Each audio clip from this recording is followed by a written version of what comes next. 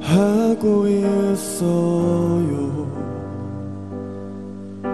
우리 다투던 그날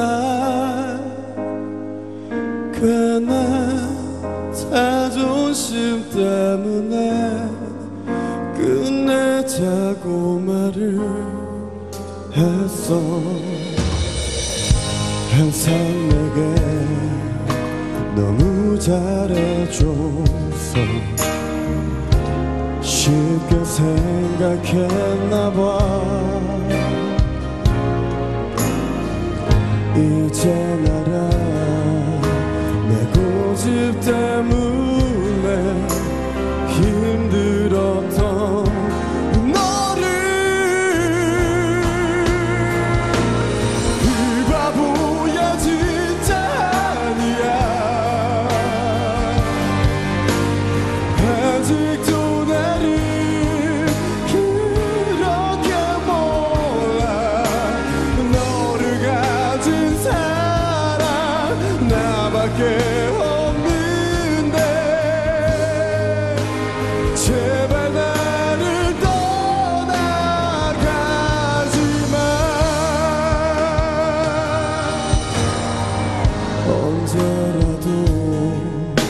내 편이 돼준 너 고마운